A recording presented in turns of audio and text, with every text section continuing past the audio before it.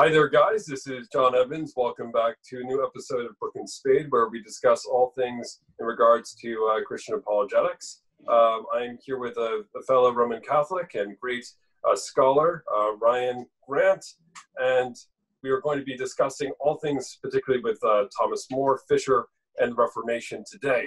So, Ryan, pleasure to have you. And would you be willing to offer a brief introduction about your latest work, your research, and some of your background? Okay. Thank you very much. I appreciate you uh, having me on. So, I have a bachelor's degree in philosophy and theology from Franciscan University in Steubenville, which really doesn't mean anything actually as far as i mean some bachelors are, are hard won mine um, i basically spent my time in university learning what i ought to have been learning in high school but instead was trained uh, to kind of do what you want and what have you. And i quickly found out why that doesn't work. So then kind of retraining my brain throughout uh, university and then after university began doing largely what i should have been doing in university. Always kept playing with the idea that oh i'll go back. I'll, I'll get a master's degree. I'll do this. And then at some point um, during my my translation work a phd told me you know don't bother with that. You're you're uh, the one doctor at university of minnesota said you know you could do that. It'll help you get in but you don't really need to you're already doing that level of work right now and i said oh, all right i guess i'll continue so uh, so the work i do is is i run mediatrix press which is a catholic press in uh, post falls idaho and what uh, we our aim is is to republish books that are. See, a lot of people say, "Oh, you're you know you're traditional Catholic publisher." Like, well, by default, I suppose, because that's what's out of copyright, and that's the type of work we focus on. But that's not because we're trying to, you know, only stay in that market.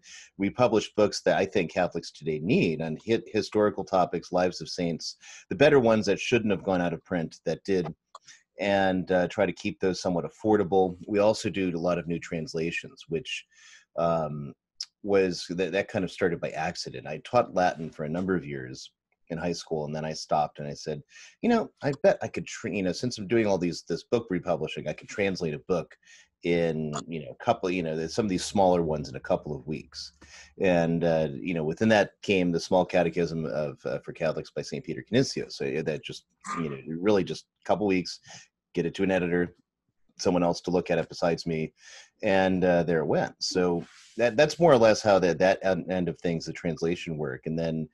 Um, I can't remember what inspired me to translate St. Robert Bellarmine's work specifically. I'd always wanted to do it because of uh, conversations I'd had with priests and who didn't know Latin, but they wanted to know what he had taught on certain subjects. And so we'd gone over and I said, "Yeah, I should get those out," which which was uh, actually good practice and good work in getting through the I don't know, kind of learning the ropes, as it were, and and finding you know your faults and and, and strengths as a translator and growing and, and, and doing things a little bit better. Um, so it, so that's kind of how I got started there, and then through that kind of academic work, made you know got in touch with a lot of other academics and. Um, you would usually send me manuscripts to start working on or other things. Say, "Oh, I need this translated, and it's only in you know handwritten latin from like the 17th century can you read it and you're like well it's mostly cursive but time to start reading up on some shorthand stuff and so just gradually in all these things i'm self-taught and have continued to work on my own interests one of which of course is, is principally the, the baroque period the, the late renaissance period and the reformation ultimately and so in um, you know, I mean, not just in England, but also in the continent as well, the great monarchies in those periods. And so that's been a, a huge level of, of research. I, I, have been and continue to work on a, a new biography on St. Robert Bellarmine, um, which trying to bridge between a popular level biography and yet still still be a scholarly work. Um, and so that's been holding it up because I could just you know plagiarize half plagiarize this or that other book or you know translate half you know this one out of italian or what have you and but i actually want to do something that's legitimately a real work you know so that naturally takes more time and uh, of course covid's kind of wrecked that because any place that's not digitized i can't get to right now so that's been kind of slowing that work but um, i have a number of his works translated st robert bellarmine and uh, since we're going to be talking about fisher and more today i should note that i actually do sell two by two excellent biographies of both so uh, the the best, most complete one in print is uh, this one by Reynolds, uh, St. John Fisher, Reformer, Humanist, and Martyr. And then finally, St. Thomas More, a great man in hard times, uh, both by the same author. They're very excellent biographies. They're primary source based. Uh, they're, so they're they're not hagiography, but they are written about saints from a Catholic perspective, with an eye to the actual the history, the manuscript history, the best sources, and whatnot. And that's brilliant because you know I think one of the the facts that often gets swept under the rug is essentially when you're dealing with people like Fisher and More, mm-hmm. they weren't uh, as as we know hovering three feet or four feet off the ground, they faced very real struggles, which feel very contemporary between you know, struggles between the parish priest, the bishop, and the laity, uh, difficulties with Rome, difficulties with essentially um, you know the monarchy at the time, and so these essentially were holy men who were also too to some extent. I, I don't think they would have necessarily relished the term, but also politicians as well, mm-hmm. and that seems like an oxymoron to our ears now, but for them, it was essentially their life. I mean, Fisher, in an ecclesiastical role, acting as a shepherd of Christ at a time when views of bishops were very low. He was seen very reverently, as you said on many other podcasts. Of course, Thomas More, uh, largely through the, the semi hagiography of A Man for All Seasons, which I, I love, frankly. I think mm-hmm. But, you know, essentially maneuvering like in the midst of people like Thomas Cromwell. I mean, you cannot get a you know slimier than than that, or you know Cardinal Wolsey, who mm-hmm. basically uh, you know had a sharp mind, but as to his heart and to his soul, it's a very very different question. So in terms of pivoting to arranging the scene, often you know people want to begin discussing the Reformation in England. Um, in isolation of what's going on in the continent, but you you've done a lot of great work on Luther, and we begin with you know 1517. Of course, uh, the 95 Theses were probably pasted on the Wittenberg door, probably not nailed on the Wittenberg door.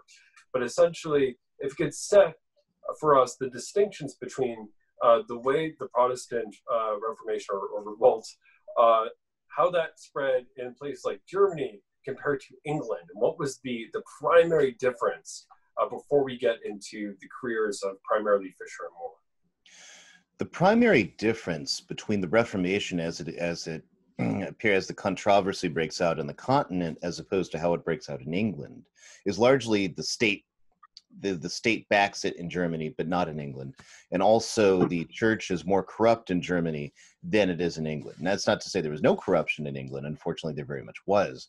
But the I mean, really, all there's always corruption of some sort. But the the reality is that the level it was far worse in Germany with bishops that were prince archbishops. So, so I, I suppose to, to backtrack, how did it get so bad? It's from two two two sources, two twin evil fonts, really. So, in order to fund clergy and the training of clergy in the Middle Ages, and uh, you know the efficient endowments of monasteries and other pious religious houses, you had a system which is called you know holding things in commendam and so a patron or uh, various families would have a history of patronage of a given position, a church position. Basically, they would pay the bills, they'd pay the priest's salary. And out of that salary, supposed to, you know, do, you know, there's various moral theology texts about what he's supposed to do, all of which are entirely irrelevant now because there, there, there are no, no, nothing's held in commendam anymore. The priest just gets a salary from the bishop, and there you go. Uh, or a stipend, as it were. So, but you know, mass stipends and benefices is what a benefice is and so you'd have on the one hand you have a lot of that going on and likewise too bishops have a certain amount of income in their diocese but all often you know might be on various diplomatic things here and there so it, gradually once the mold has been set that the bishop doesn't have to reside in his diocese he can pay somebody else to do his job that starts to become the norm and scandalously so once you hit the 16th century and then you have another problem so that when you went into diplomatic service, whether it was for the Pope or for a king or for some, some powerful uh, noble, um, you usually had to pay for your office. Whatever office you held in a state, you had to pay for it. Likewise, the king. The king runs the country on his whole budget. That is his budget, his personal stuff for trinkets, or whatever he's you know he has to spend in matters of state so likewise it's the same thing for clerical positions if you're a bishop that's in charge of um, this or that office in rome for the pope or a cardinal or whatever you have to pay basically for all your expenses in running that office, all the people, all the messengers, all the mail, and of course feeding and upkeeping a household of servants that are that are doing all these tasks that need to be done in the diplomatic service, which means uh, you've got to have some source of income. So you'll be named the bishop of this place and the head of this order, the protector of this order, and then a lot of the income starts coming to you. And likewise, and so of course, the more the uh, the less scrupulous and more um, let's say money uh, pecuniary of church officials knew how to game this system and make all sorts of money out of it. And so one of which was um, albert of brandenburg. And so he wanted to have several dioceses and he wanted to get a cumulus get all this so it'd all be rolled into one and um, and, and, maximize the amount of income he could get out of the place. And, and pope julius ii who is of course paying for uh, wars in uh, Italy because during the Western Schism, while the popes were away, the local warlords and the, the big Italian, uh, you know, mafia families in central Italy decided to play and took all sorts of territory to kind of be their own fiefdom and didn't pay any notice of the Pope when they came back from Avignon. So now Julius II is completing what was begun under Alexander the Sixth, trying to reconquest all these areas. So he desperately needs money for troops, and uh, he's also got Michelangelo coming in the fields, the battlefields, uh, so demanding money in order to to get to work on the certain aspects of the Sistine Chapel to get it finished because he just can't buy the lapis. The lapis lazuli, which is the, the the blue stone that comes from Afghanistan via Venice, and he would grind that down. It would give you these wonderful royal blue pigments and uh, and otherwise, and he de- and he desperately needed more of that, and it was very expensive. And so, plus he just needed money for his own uses, and so um, he died very, very wealthy. And this is part of what what gives him his wealth, part of it. Uh, nevertheless, so the Pope's got to pay for all this sort of stuff, and Raphael, and, and you know all the all the the art projects the papacy is engaged in, making Renaissance Rome truly the cultural leader to beat out the Florentines. Right, that's the goal. So uh, so Julius, you know, gets these requests from Albert Brandenburg. Says, "Yeah, why not? As long as I get the cash, you can go right ahead and do whatever it is you want to do." There's no consideration about the gospel of Christ. There's no consideration about the the spiritual needs of the church or how people are going to feel about it. So all these types of things increase the consternation. And then you have Julius is out of money and, uh, and I told the, I explained this elsewhere, but he's out of money and he needs to recoup it somehow. And there was a theological opinion that you know, well, people, you know, the church could make it easier for people who had a lot of money wanted to make a sacrifice. Um, you know, and there are already pious bequests on wills and people dying, giving their land, so many of their lands to the church and what have you.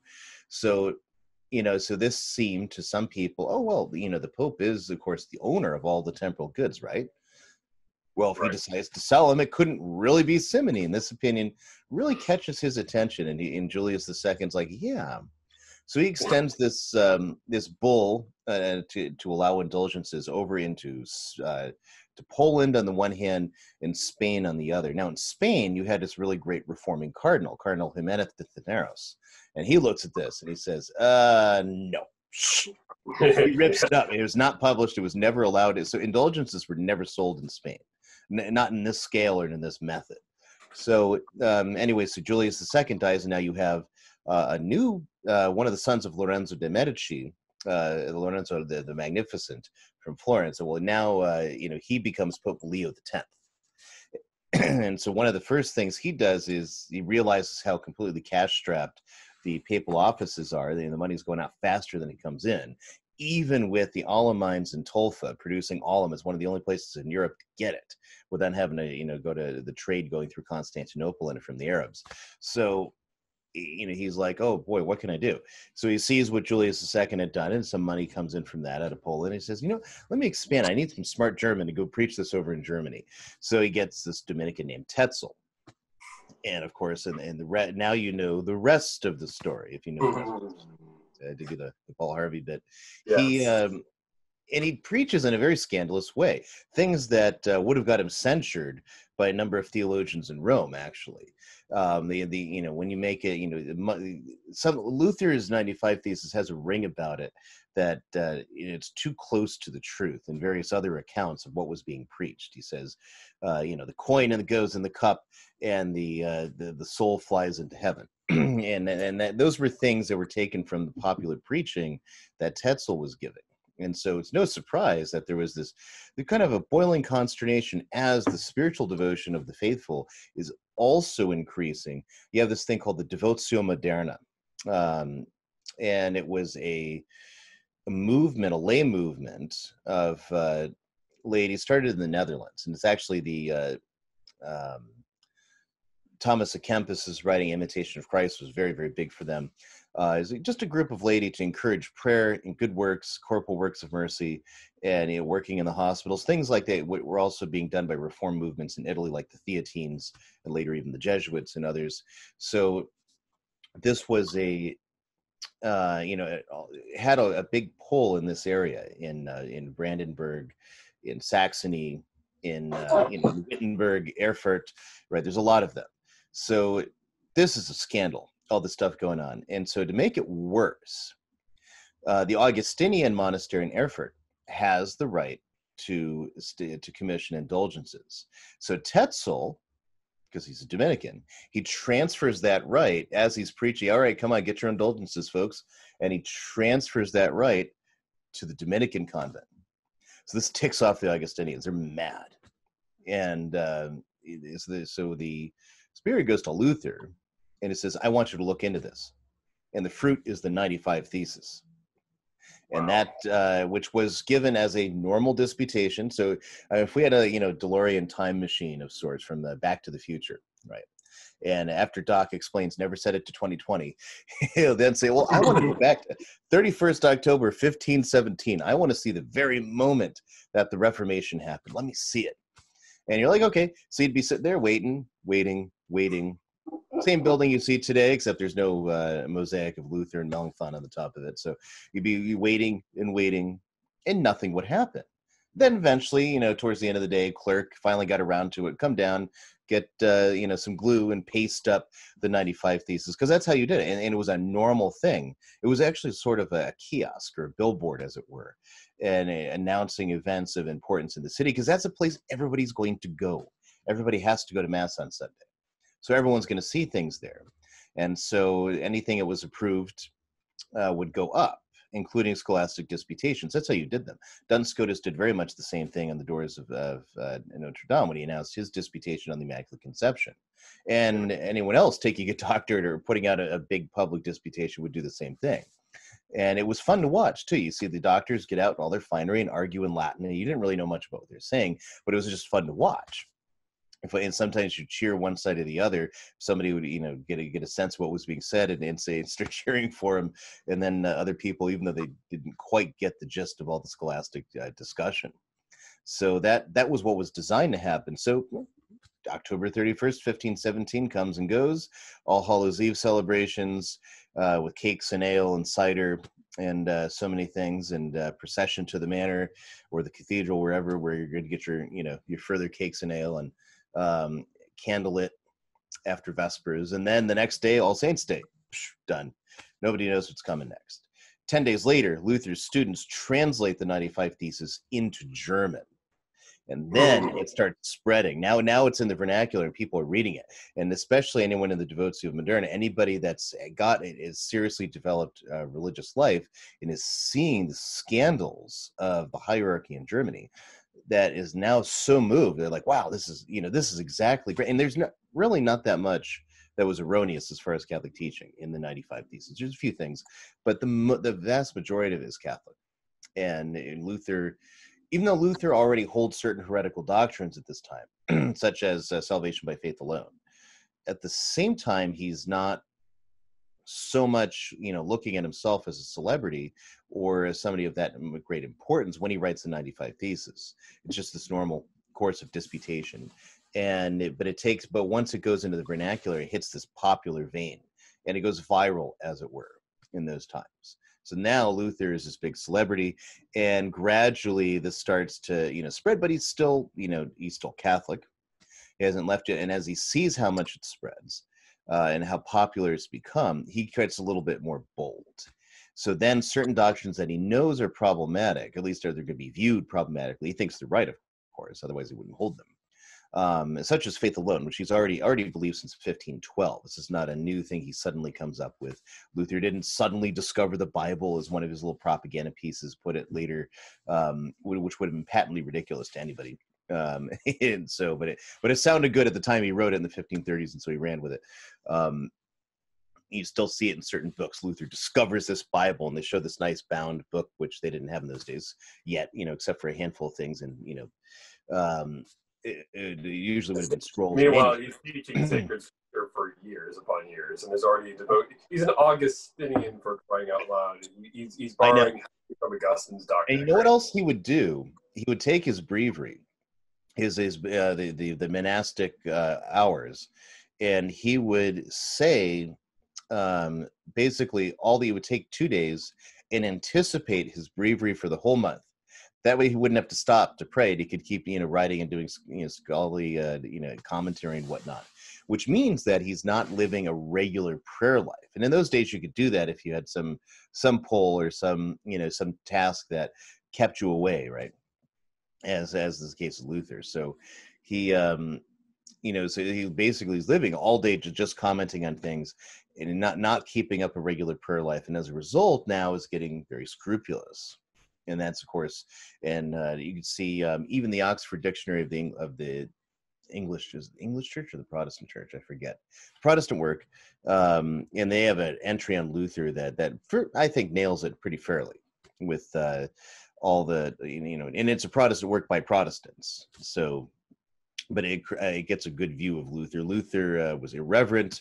He um, you know, he, he, did not suffer fools gladly, which is interesting. Is actually the same thing could be said of Thomas More, but he does it with more class. Luther yeah. swears like a sailor um, routinely. Uh, to, so notably, in fact, that uh, another Protestant, Henry Bullinger, said that well, such language could be expected in a swineherd, but in in the prophet of the German people, I'm not so sure.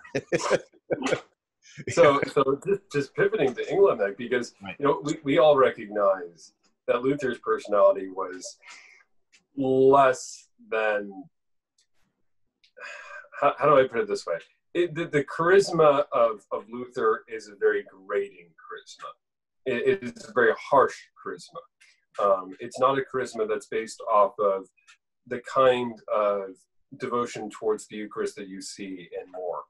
Uh, Luther's understanding of, of consubstantiation rather than transubstantiation seems to really um, eliminate the possibility of Eucharistic adoration or more Eucharistic consumption, which of course becomes, for me, it's a hop, skip, and a jump away from then Zwingli, and then you get all the ways away from all, all of the trap.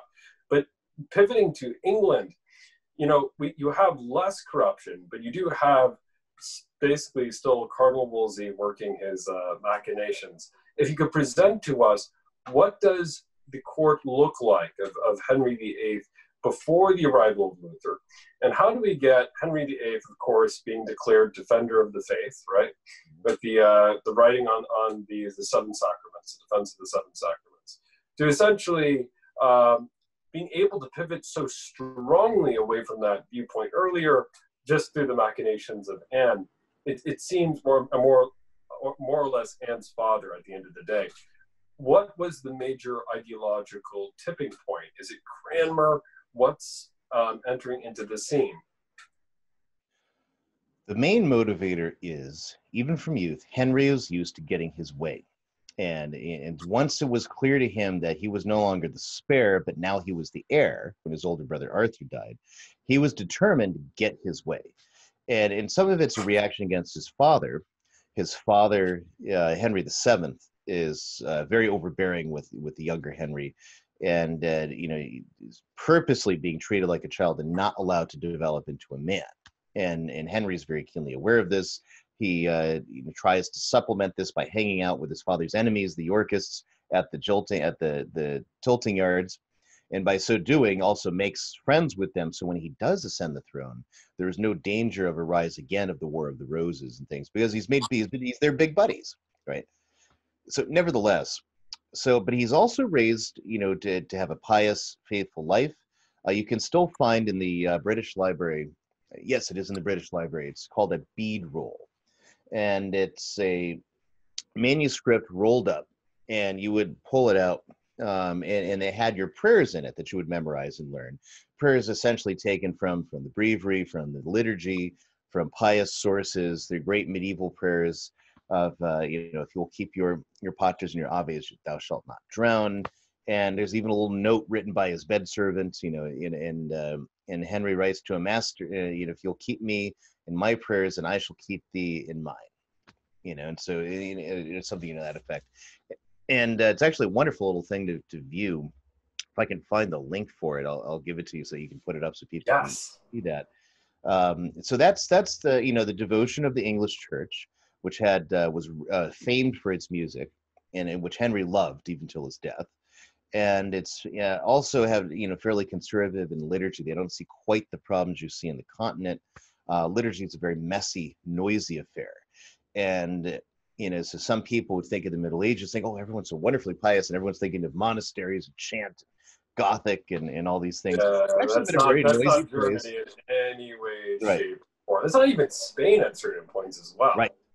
And so, no, it's not. In fact, it's a very noisy place, even during Mass. And there are several Masses going on at different, the larger churches at different times. And that's where everybody comes together. And so you have some talking and you have some discussion, animal trading, and because uh, you could be sure we're going to be here at this time because we have to go to Mass, just like with the notices and whatnot. So also with uh, trading donkeys. And as uh, one friend of mine who's an historian, Philip Campbell, pointed out, the uh, it's in the De Defectibus of St. Pius V, which is a document that precedes the traditional Latin Mass, the, the 1570 Missal, explaining what to do if there's a problem and what would invalidate a liturgy. What what do you do if this comes up? And it's re- one of the earlier things in there. What do you do if an animal grabs the Blessed Sacrament and runs off and it cannot be found? It says, you know, consecrate another. And this is a document in the Missal for the whole church, which means you wouldn't put that in there unless it happened at least frequently enough that it needed a mention. and uh, things of this sort. Let me forget Monty Python skit. Honestly. Yes. That's a right. swallow descends from the sky and just lifts the chalice. No. Yeah. yeah.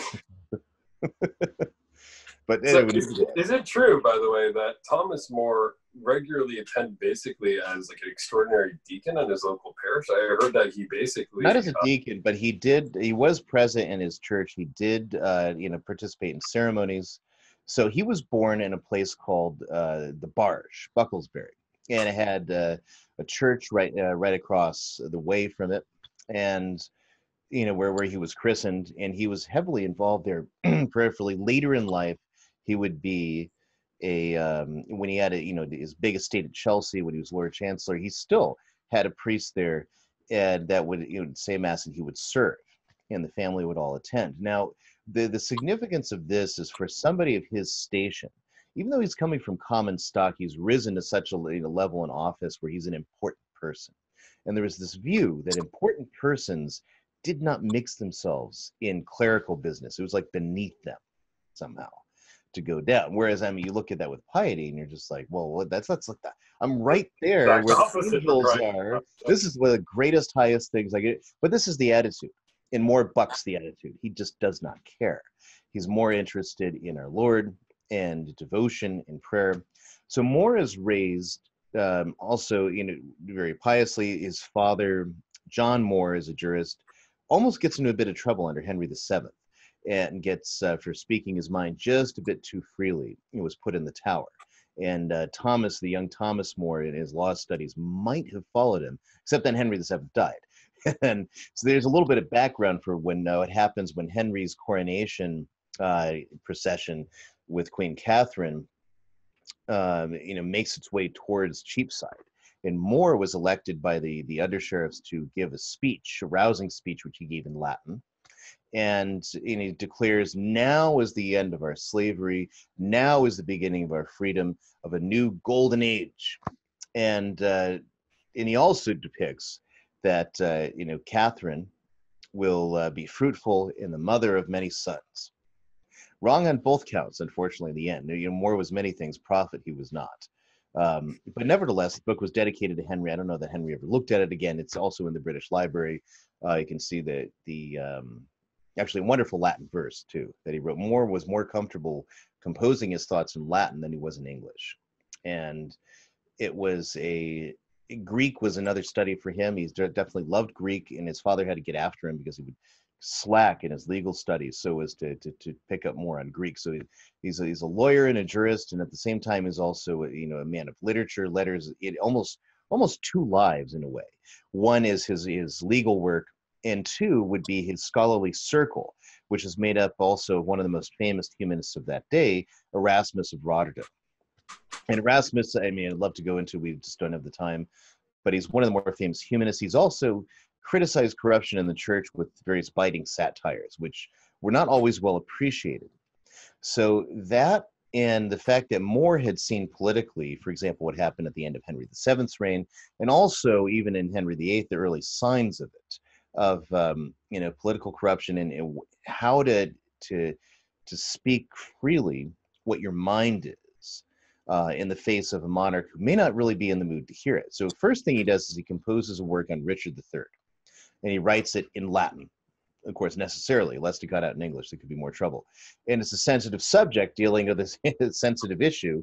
Richard III, who had uh, allegedly, according to More in that book, uh, murdered the princes in the tower by having them smothered. So that is suffocated with pillows.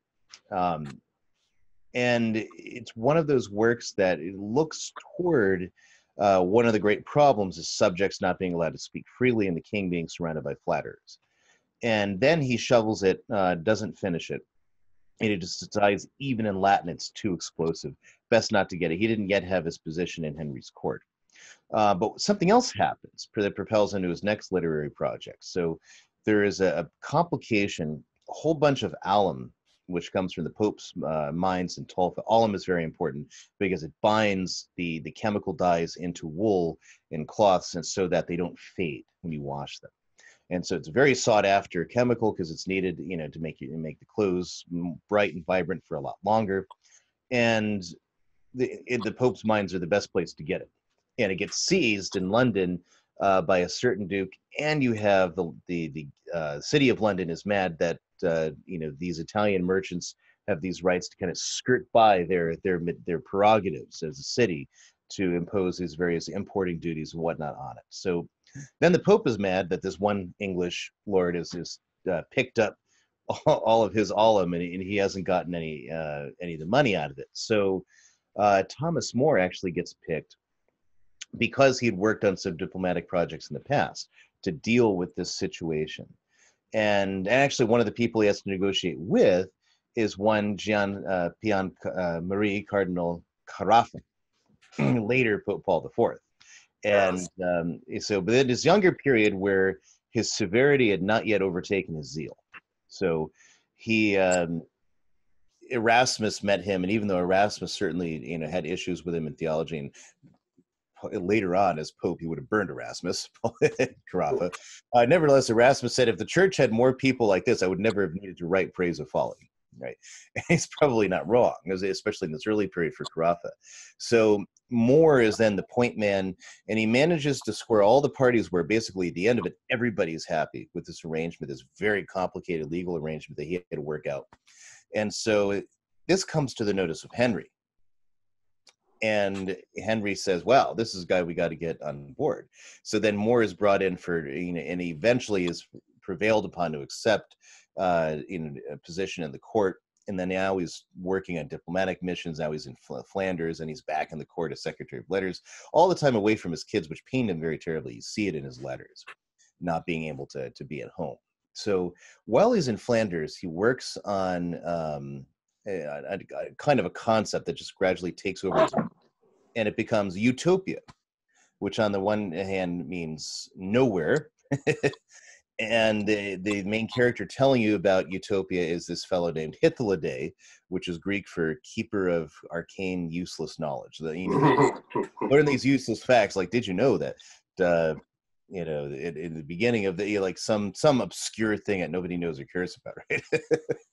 and and the whole book is full of irony. A lot of people don't understand it. A lot of people make this book and oh, this is calling for communism. And in the 19th century, various socialists did take the book, using it to argue for the abolition of class, the abolition of property, the abolition of other things. But that's not what the book is about. And that's not what More is about either. It's largely about people being able to speak their minds, people making a mockery of what everyone else thinks is important. So, for example, the people in Utopia, according to Hythloday, they uh, have gold urinals because gold is so worthless to them. That's about its only use.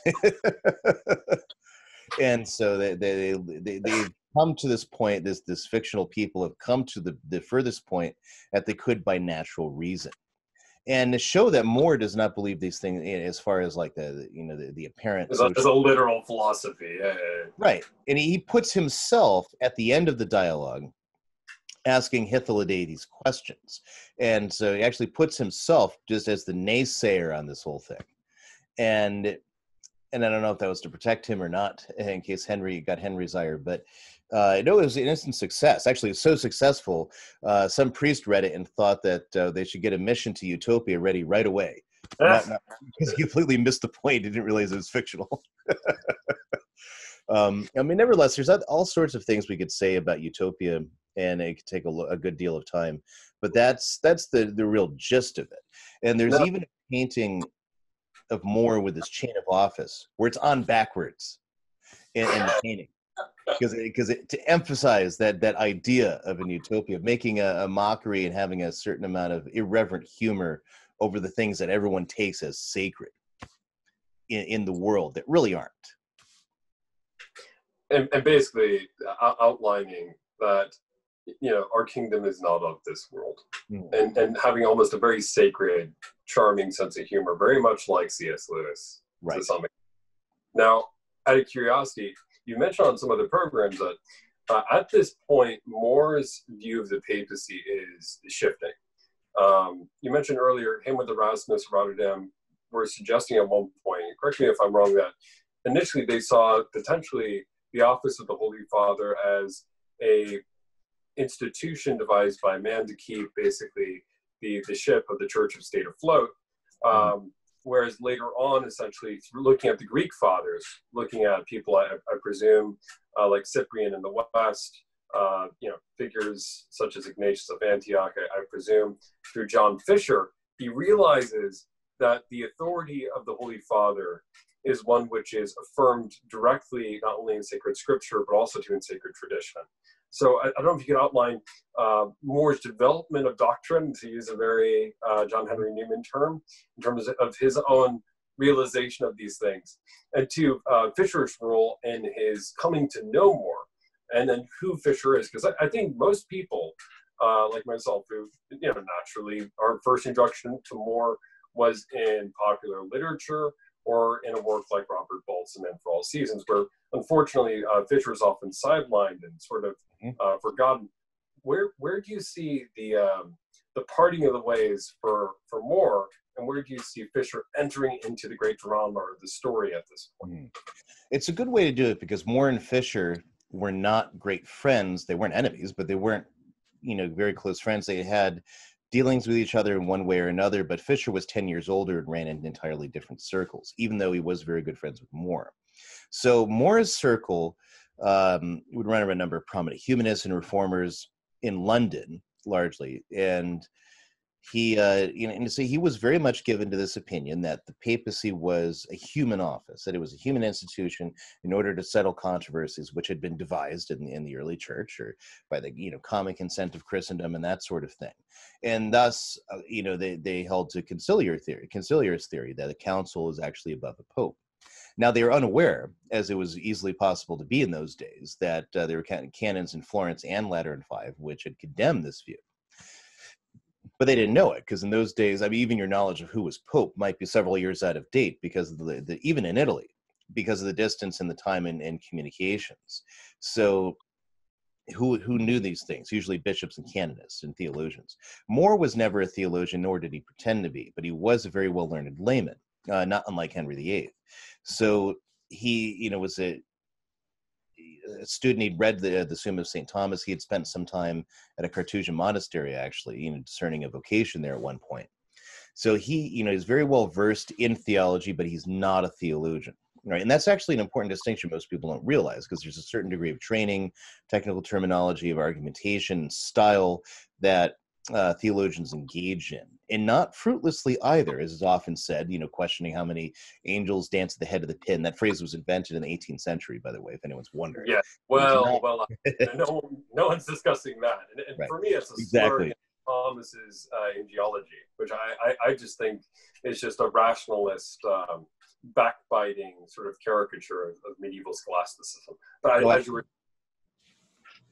so, oh, anyway, so More is convinced of this opinion by you know in his circles anyway. A lot of people kind of have this opinion. They would be obedient to the Pope, but at the same time, they they don't see it as a divine office. Now, Henry is raised to see it as such uh, with the traditional piety that he was given as as a youth, as a young man. So he you know he writes then now you have luther exploding on the continent luther has gone from uh, asserting various articles and he meets with cardinal uh, cajetan Cajetan, and he expects this this condemnation or these arguments about law or points. And Cajetan actually goes in a very simple point of theology, receives Luther very kindly, and he says, "What do you make of this?" And it's a bull of Pope Innocent the Sixth, where he, I believe, was in or is it Clement the Sixth? I might be mixing in which one was which. And they have a document saying that the, the very passion of Christ, but the very shedding of his blood was sufficient for the salvation of human of human uh, humankind. And in that, granted, yes, everything we're seeing are, are abuses right now with these indulgences, but when the Pope gives an indulgence, it's it's applying these merits of Christ to men for pious works. And surely you can see this, example, Luther had no arguments against. He was, oh, let me, I got to come back to this. You know, he's he was stumped. One, because he didn't get the treatment he expected to get, and two, a position that was very powerful and that he had a, a great deal to argue with. And of course, he never addresses that with Cajetan. Then he is condemned uh, by Pope Leo X in Exsurge Domine, and Luther's response is to burn the document and burn the whole corpus of canon law along with it and and of course now he's also got a protector, the Elector of Saxony, right? The very the, the very noble of that, that that runs that area. Now there's a reason for this. The Elector of Saxony, Frederick the Wise, he remains Catholic. Uh, but he supports Luther ultimately because you know the Tetzel and the whole regime of indulgences that have been brought in were competing with his relic church. So you notice Luther doesn't say anything about relics until Frederick the Wise passes on. and then he's all off to the races about St. Joseph's pants. That's right. Which I'm so, just kind of like, I, I, I'm, I'm sorry, of all the relics to attack, that's kind of a softball. And I don't know. It's just, but it's, it's interesting. It, it, is it just me or is young Luther essentially an, an, an, individual who still has a lot of mainstays, at least cultural uh, affinities for Catholicism culturally. And it's almost as though as he doctrinally strays mm-hmm. farther and farther and farther away from the, the, the tree. I would say that his condemnation by the Pope, at least in my reading by him, his condemnation by the Pope and then the further condemnation in in the Diet of Worms gives him more time for reflection um, Charles V, he was very young, by the way, just just coming into his own as Holy Roman Emperor. As this is all brewing up, he calls the Diet of Worms, and as Luther condemned, but he honors the safe conduct. So the German princes then uh, were opposed to Charles V's centralizing policies because he's the Lord of Flanders and Burgundy, just became Charles I of Spain, uh, Carlos, and now he's come over uh, this Flemish, you know, noble grandson of Maximilian I to come in and be the you know the Holy Roman Emperor. He wants the empire to work the way it does in Spain, and it doesn't. So this is one of the the great problems. And of course, he's got to put all his troops in the field. He's fighting the French on the one side, uh, and then he's fighting the Turks on the other, who in 1529 actually become very close to taking Vienna. So the in order to there's two different uh, groups he's got to keep set aside. So one is the nobility because he needs them to put their troops in the field. The second is this core of mercenaries that were created by uh, by his, his grandfather Maximilian I. Well, they were created, but it was, it was under his aegis they came to be. Were called Landsknechts, and that word in German just means um, uh, foot knight.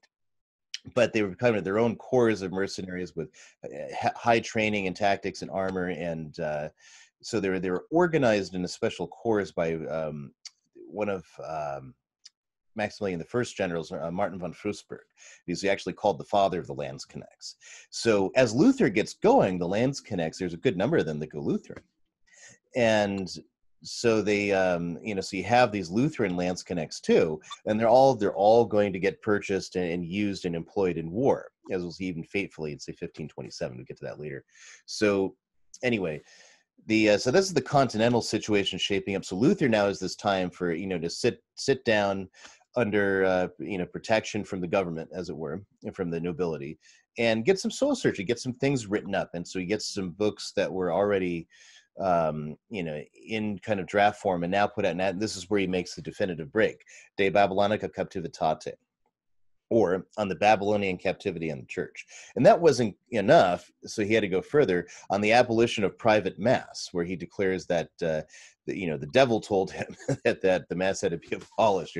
He's very reverent in his humor there, and he makes various jokes about it. Um, he has another book on the abomination of the canon, of mass you know so he's coming out with all these sorts of things in this flurry of it's clearly marking his break from the church at this point and one of the things like in, on the babylonian captivity he attacks the sacraments he argues first he argues that the baptism eucharist and penance are the only true sacraments. Then, after some thinking, he decides actually that penance is not really a sacrament, so he gets rid of that one too.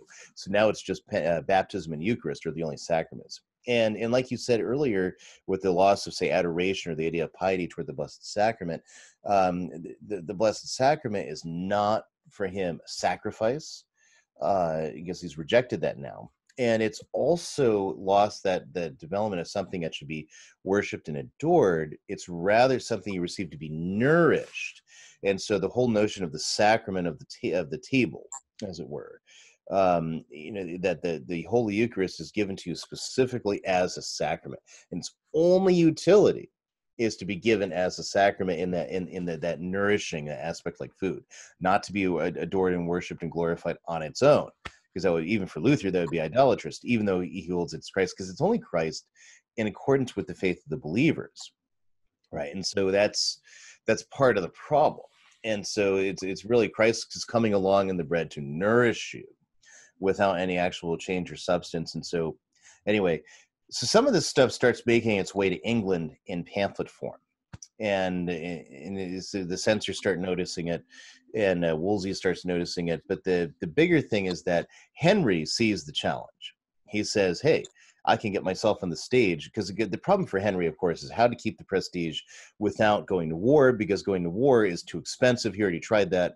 He had joined on with um, Ferdinand of Spain to try to you know make his way during the the Italian wars against the French, and uh, Ferdinand disappears, and Henry, ends up footing the bill, and it doesn't work out very well. In the end, the Count of Angoulême unites so much of the French nobility as Francois I, and the writings on the wall for Henry. He calls Henry's bluff that uh, Henry had declared, if the French go to Italy, then I shall say, and if not, then I shall say, uh, I'm the one who'll determine it because I because they've got to deal with me up here in the north if they do. Well, Francois says, okay, I'm going to go to Italy anyway and have an army to fight you in the field. So Henry has to come to peace, peace terms. And eventually they work these out, and it's a way to keep Henry on the international stage. Uh, the Field of the Cloth of Gold actually would have been the uh, 500th anniversary of it this year, except they didn't have it because of COVID uh, 1984. So, um, but anyway, so the uh, it's incredible, sumptuous festival. More was there as well as uh, St. John Fisher, actually, uh, as as Queen Catherine's chaplain. And it's a series of games. It's almost like an Olympic Games of sorts between the French and, and the English. And they set up uh, you know tilting yards for the jousting, and uh, the English are, are, winning at every level. And then Henry has to go spoil it by um, challenging Francois I to a wrestling match, which he loses. Francois just a little bit taller, and uh, but but both about the same age. And they'll they'll continue, uh, you know, as as enemies and friends sometimes, frenemies, as it were, uh, until true frenemies that hard. Yeah. and, and, I love how they play that off in the Tudors, where more basically just pulls Henry aside and gives him like a, a fatherly fatherly lecture. Right. Historically, that would have never happened. But no.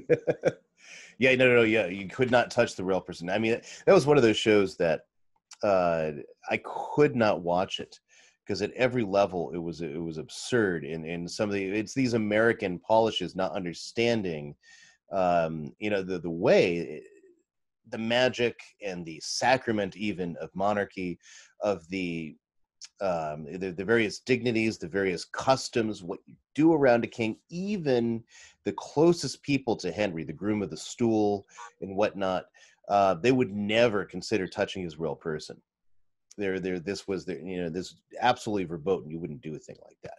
But it's like other movies like that more recent pride and prejudice with uh, what's her what's her name Keira Knightley where yeah. um, mr darcy comes into the bedchamber while her sister is recovering. No no that you did not do that. That did not happen in that time period in england. That was that would have been considered such an affront to her dignity and honor. Um, you know you wouldn't do that. So the uh, anyway it is one of those things that the missed in hollywood anyway, um, it's interesting though, just just dovetailing from that briefly, and, and yeah, something like the Tudors understands the, the, the reverence and the respect in a backhanded way mm-hmm. for even uh, the Blessed Sacrament and for right. at least the person of More and the, and the person of Fisher in character, whereas something like Wolf Hall, unfortunately, by mm-hmm. what's her face? Oh gosh, her name is escaping me. Uh, Hilary Mantel. Well, she's the yeah, author, yeah. authoress of the book who just makes Cromwell the, this this glowing protagonist. Oh, of course. Who is the most, for me, I mean, if anyone is despicable in this entire narrative, it is oh, absolutely. It's like Cromwell's a bit of a Joseph mis- Goebbels, a protagonist.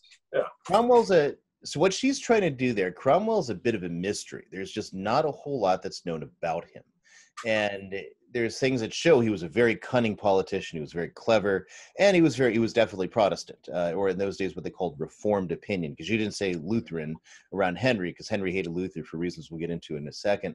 So the uh, so what Hilary Mantel's trying to do there, and I actually salute what she's trying to do. I just don't like the way she does it at all. She's trying to work a, a plausible historical fiction that would give you a, bi- a biography that was never written of somebody with where we're lacking a lot of the sources. And so I salute that type of effort. I just don't like what she did, namely making him this this grand hero, uh, because it, it largely aligns with her particular sympathies of it, and and some of it's implausible. Her treatment of More is completely out of the documentable history of his character, um, and things of this sort. So anyway, so getting over to um, uh, yeah, out of the field of the cloth of gold.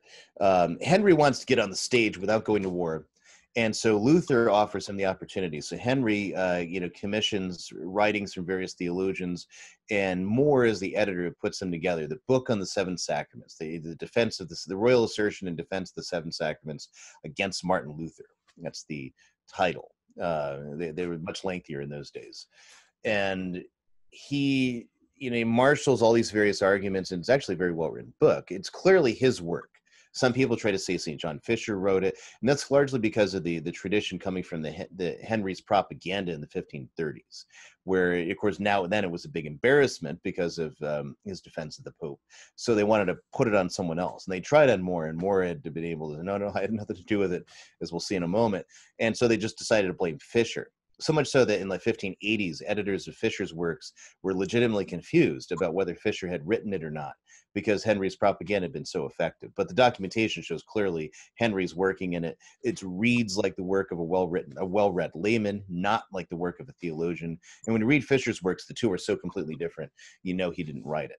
So uh, More confesses to Cromwell when he's accused of having written the book or, or, bewitched the king into writing the book that he was merely a secretary and editor, uh, moving papers around and organizing things. And one day he goes to Henry and he says, My lord, I, I see here in your, your dedicatory epistle this great defense of the papacy. And Henry's just all glowing about it. Oh, yes, absolutely. What, what's wrong with that? And More is saying, Well, maybe you want to take that bit out and Henry's, well, why? Well, well, you know, the Pope being a temporal lord and, and ye, my lord, being a temporal lord, uh, it will um, it will look as if uh, you know you, you might get doing it. You might regret doing it later. Plus, you know, what about laws in England and things of this sort? And Henry says, "Oh, who cares about that? I, I always, I'll always uphold the papal dignity." because it is true that at this period, Henry believes the papacy is a divine office, but More does not. More does not believe it. so the book goes out. Leo X is absolutely elated, and then uh, you know sends gives Henry this title, which he did not mean to be perpetual, by the way. Uh, fidei defensor, and that's why you see it on the English coinage even today. FD, fidei defensor, and so that was given to uh, to Henry, and the um, oh, and so now they had a special occasion prepared, and they, where they're going to have a special burning of Lutheran books, pamphlets, etc., in uh, the in the St. Paul at St. Paul's Cross in London, and Henry is supposed to be there. And uh, St. John Fisher, who was very much the greatest uh, preacher in the kingdom, was tapped to give the sermon. And so, and this is the first time that Fisher and More would have come into close contact with each other. Now, Fisher, to get his background, so he's about 10 years older than More. He was born during the Wars of the Roses in a city called Beverley. And it was a wool making town up in, in Norwich and uh, Yorkshire and where they dyed wool and so many things. Fisher got a good education. His father died young and his mother remarried and his, his stepfather seems to have taken a very good care of him. We just don't know a whole lot about him at this period. So he ends up at Cambridge and he, he was uh, very good at Latin. Um, and then that's that's known early, and that was the key to education in those days, uh, pretty much until the 1800s. If uh, you knew Latin, that meant you were educated, irrespective of whether you're talking about a Catholic or a Protestant. Um, the Protestants were very much just as big as Latin. In fact, one of the greatest uh, Latinists in Northern Europe in the 16th century was uh, George Buchanan, who was the tutor to King James in Scotland and so you know, diehard Calvinist Republican, you know. So, but but he was very much the one of the best Latinists about in the North. So it um, it wasn't a Catholic thing just because the Catholic Church and Mass in Latin and stuff like that. It was the language of education and scholarship. It showed you were educated. So you would learn Latin grammar. So then you would learn how to speak logically in Latin. Then that's yeah, you have logic, and then you would learn rhetoric, which is how to do all that. The other two very well and then there's or that is to sound very good while you're doing the other two. So then in, Cambridge, he goes further and then takes his degrees in theology and becomes a priest. And again, not a whole lot is known about his vocation, but he must have had some kind of spiritual experience, some kind of uh, vocation, and impressed his uh, superiors because they, they actually were able to settle what year he was born in based upon the papal dispensation from Innocent VIII, allowing John Fisher to be ordained before the canonical age. So, um, anyway, he was uh, you know some at some point met the mother of Henry VII, and and she was so impressed with his holiness she makes him the, royal, the her royal chaplain. And Margaret Beaufort was her name, the, the mother of Henry VII, who yeah. could have been queen in her own right, and she steps out of the way for her son Henry. She heard mass several times a day. Um, when she was widowed, um, finally, then St. John Fisher allowed her to take a, a vow of chastity and she spent her time basically translating French spiritual works. Uh, she translated a missing book of Thomas à Kempis uh, into English. You know, she uh, patronized the printing press and so many things. And so one of the her big, uh, you know, thing is we got to help, you know, reform preaching. We got to get pious works, pious preaching going. And so she, uh, you know, sets up a uh, endowment for St. John Fisher and certain others to preach all around uh, England. So he becomes this very holy personage um, that is just known by everyone for his preaching. And then he's made a bishop. And this was kind of a surprising thing. So he had no connections with the court except for his mother. So people said, oh, well, except for Henry VII's mother. So people say, you know, oh, the king's mother gave him his job. So Henry wrote very explicitly, Henry VII, and he said, no, it's rather because every time I've observed him, he is seen to be a good and holy prelate, and I need to do something to make up for the bad way in which I've ruled. And so po- appointing more men like this will be the way to do it. Well, he dies before you can make good on that. So Fisher preaches the funeral for Henry VII, which Henry VIII would have done well to listen to, but did not. Um, then he Margaret Beaufort dies a short while later, and uh, that, and then she left Fisher a good deal of money. Uh, the sermons for both occasions are, are given in that book I have on Fisher, in case anyone's interested. Like I mentioned, uh, by Reynolds there. Anyway. Uh, uh, absolutely, and and then you know, particularly because having access to that brings us back to a snapshot where you see a whole culture who's mm-hmm. focused the Eucharistic life. Now, granted, right. with desperate need for reform that is now, but the difference fundamentally being that even in the liturgical abuses, even in the cultural and political abuses, there's still, even in the heart of a fallen star like Luther or Zwingli or Calvin, there's still the faintest whiff or, or memory of what Christendom was before they mm-hmm. hacked it. Right. So, the average the average person's life um, would have revolved well would have revolved around one uh, getting firewood and fetching water. The firewood's always important because you're going to keep the either the stew or the laundry going, whichever one. Um, so you always needed that. And then uh, you know the, the, whatever trade that the father of the house did, whatever secondary trade the the mother had to do in order to help make ends meet, and then the mass, the patron saints, the processions. These are the things that made the average life, whatever the Pope was doing in Rome, did not matter to the average Catholic, not only in faraway England, but even in Italy itself, in a lot of places. It really didn't matter. It was only in uh, more learned opinion where there was a, a, lot of concourse between people in different countries where the news traveled. That's where you would have some knowledge of scandal over papal misdoings or episcopal misdoings. And in this case, so Fisher comes into the scene as a bishop and he breaks all the rules for what bishops are supposed to do. Then he um, get he sets out. Eh, first, he makes a policy: no priest will work in his diocese unless he has ordained him. So he actually does. There's only a short period where he wasn't physically able to do that. So about 41 out of 44 priests in his diocese, he personally ordained over the the whole period of his episcopate. Then uh, he would actually go himself to preach and people were surprised at that. You know, they, bishops don't preach. I mean, no bishop preached in those days practically. And he said, if I don't preach to the people, I'll be damned. And he has this wonderful uh, series of sermons on the seven penitential psalms, which is worth getting. You can find it for free in a much uh, more antiquated English. So if you're not good with early modern English, um, I believe Ignatius Press did a modernized English version, which was very good. Um, by the way, in any case you're worried about them changing something, they did not. Um, then uh, so he would go into the houses to give last rites of people, even when, according to the early biographer, the house was so smoky none of his servants could abide it. Right. So Fisher has very much this reputation as being the holiest man in, in Christendom. It precedes him everywhere, along with his writings. Um, well, he hasn't quite hit the international stage with his writings on Luther yet, but he has on other subjects. and this has, you know, really impressed people. His sermons have already been published and sent abroad in Latin and then you know so it's no surprise he did, had a very difficult relationship with henry though. When he was eight he was meant to be henry's tutor um, for latin. Then uh, when henry was eight that is fisher was his tutor. Then when henry is at 18 and lady margaret beaufort henry's grandmother dies there's a big bequest of money that fisher intends to use to build st john's college cambridge which is where he's going to uh, excuse me train future seminarians and future you know priests. Actually, the word seminarian doesn't exist yet because the seminary system hasn't been created yet. and Fisher basically does it in all but name where he said there's special rules for the for the college and uh, what's supposed to be studied and how things are supposed to go. I've got a friend, uh, Dr. Alan Fimister. He always jokes that he, uh, Fisher, for some reason, likes Scotus, and he had questions of Scotus to be read.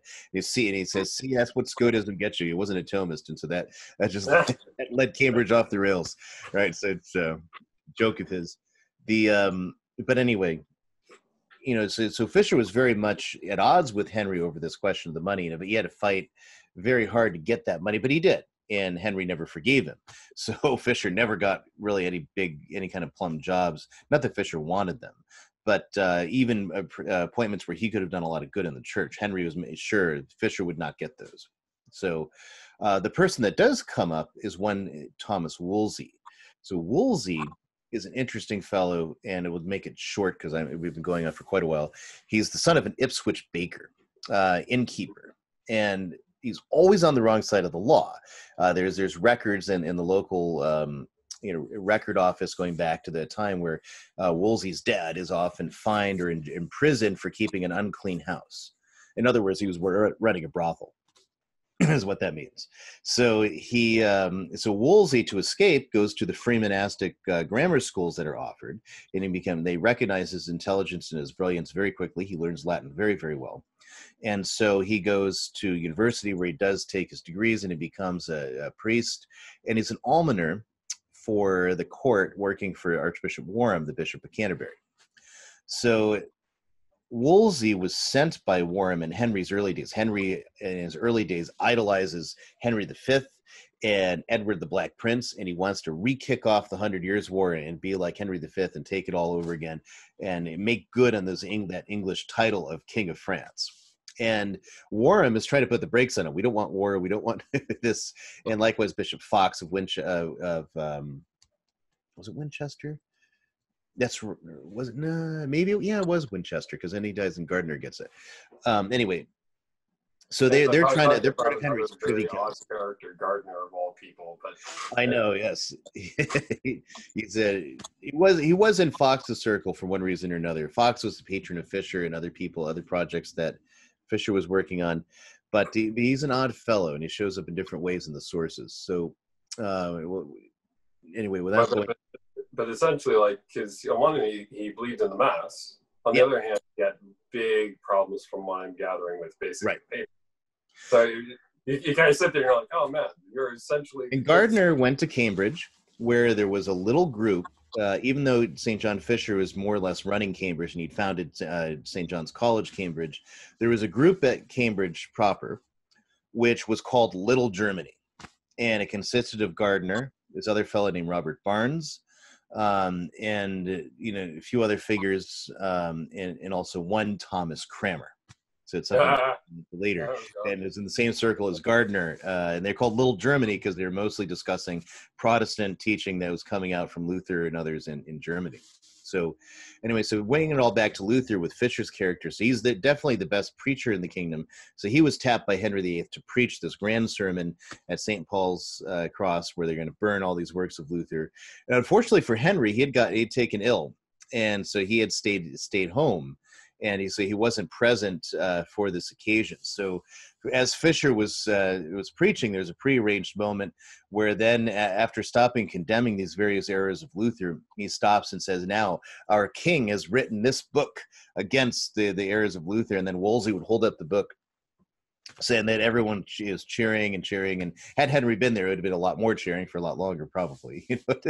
Nobody wants to be the first one to stop. but uh, anyway, so uh, you know so this is kind of how this uh, progresses. So luther sees this and he gets twerked off. So he writes his book in response to the king of england um, which has a much longer title than that. And he calls him a dolt. He calls him a pig. He calls him a fool. Never addresses any of the king's arguments actually. So henry is uh, very mad about this in private you know, but it's beneath his royal dignity to respond to a book like that that is so full of such nonsense and filthy arguments. So um, he taps More, and so More uh, is also really mad about this book, and Luther is just this this knave from from Germany writing this nut rubbish. So he writes under the pen name of one uh, William Roscius, who was uh, there was a William Rossius who died on pilgrimage to, to, Rome, an Englishman. So people assumed he must have written the book. They didn't know that More's authorship wasn't known until much later. And in this book, Moore descends to the same level as Luther, hurling insults and Latin cuss words and uh, inventive ways to say the S word and the F word and other things in Latin, and uh, to see if he can outmatch Luther for it. So it didn't quite do the work. And it's a big embarrassment to More scholars today, actually. But it should, it's, it's, some of it's very witty, and but it's also very bad in terms of its propriety of language. So uh, Henry had asked Fisher to write a book and so Fisher wrote the defense of the royal assertion against uh, the Babylonian captivity of Martin Luther, and he also wrote a second uh, rejoinder to it, uh, the defense of the priesthood against, in, in, in, you know, in defense of the royal assertion against Martin Luther. So, uh, in, so in here, you know, he actually quotes a, a, good deal, but not not the way he usually does. His later works against Luther, he'll quote him completely verbatim, and then you know, so almost the whole work is Luther's work plus Fisher's in the same book. Um, but here, you know, he's not allowed to do that because he can't quote these these offenses against his king. He can't say them. So he is writing, you know, but very with a very clear mind as a theologian against the work of Luther. He has uh, on, on this question of the sacraments, demonstrating from Scripture firstly, and then the patristic consensus on the Scripture what um, you know what was actually what actually is the belief of the ancient church that Luther seems to appeal to as if he, he's holding the same faith. And and the net effect is he doesn't. And then of course with the papacy, that doesn't come in in this book. What happens is Luther writes, um, he writes more. He ignores Fisher because he realizes there's nothing he can say about Fisher. He can he attack Henry VIII, he can do all these things, but Fisher is known for being a holy man, and so it just it would just fall flat. So what Henry or what uh, Luther does, he just kind of ignores it and goes on. F- uh, Fisher works on a book uh, which addresses all of Luther's theology. Uh, now, now, when I mentioned earlier, Luther was uh, uh, condemned by Leo X. Luther um, took all of the articles that were condemned in Exsurge Domine and he reasserted them plus some. And that was a book, The Reassertion of the Articles. Or just, I mean, it's just the assertion of the article properly. And so Fisher wrote a book against the assertion of the articles where he took each and every one. It's like 900 pages in the original. It's a massive undertaking, but it's also a good uh, tool if you want, if, if you read Latin and you want to know what St. John Fisher's uh, theology was in almost any point, you can find it in that work. Uh, it's, it's, a fantastic, you know, pre-Tridentine witness to the refutation of Luther, and and actually some of it serves as the basis of Council the Council of Trent's teaching on justification, actually. And um, but for the more on that, you want to read a book called The Works and Days of John Fisher by uh, Father Edmund Surtz. It's out of print, but it's, uh, still findable used, I think. Um, but anyway, so all the all this level of work you know raises fisher's estimation. Now more reads it and more is just fascinated by a lot of these patristic testimonies that he hadn't seen before or hadn't seen addressed in this way. And when he's done he realizes fisher had it right and he had had it wrong that the papacy is in fact a divine office that it was actually constituted instituted by our lord because this is what the greeks and the latins believed about it.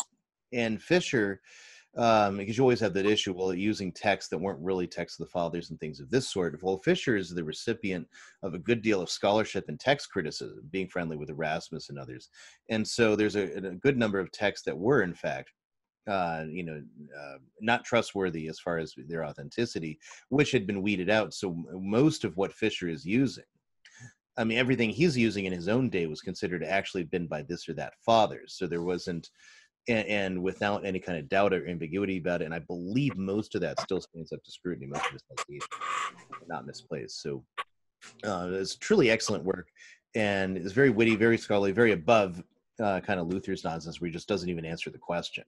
So that, but anyway, so then we moves toward the King's Great Matter. I imagine you want to all right, guys, uh, for time constraints, we will continue in our next podcast on the King's Great Matter, uh, when basically finally everything comes to loggerheads and we see the martyrdom of More and Fisher. All right, Ryan, it is always a great privilege and great honor. May St. Thomas More and St. John Fisher pray for us. Ora pro nobis, as always, and thank you for this blessed opportunity. Well, you're very welcome. Thank you.